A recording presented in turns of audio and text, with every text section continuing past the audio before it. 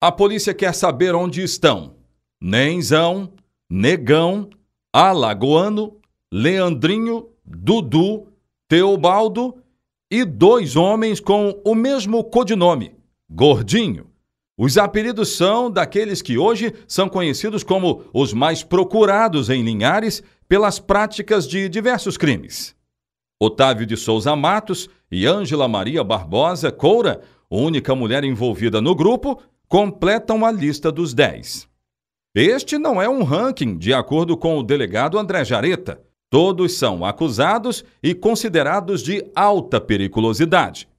Sobre as informações que pesam contra eles, André Jareta explicou como a polícia chegou aos 10 citados.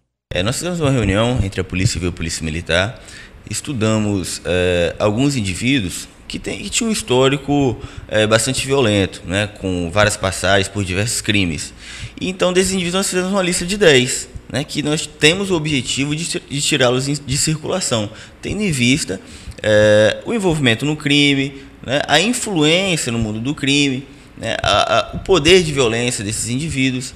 Então, é assim que nós elaboramos a lista, em conjunto e após um estudo de todo o histórico de cada um deles. O delegado disse que a população pode ajudar, dando informações de onde eles estão.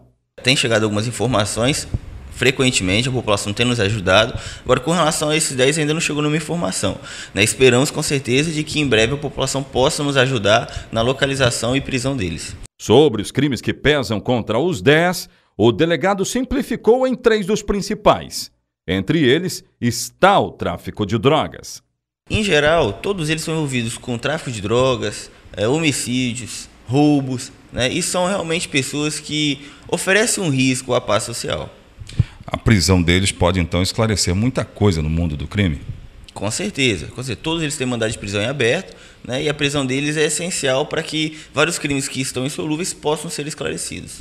Até agora ninguém foi preso. Porém, como existem mandados de prisão expedidos, as buscas aos supostos criminosos já começaram.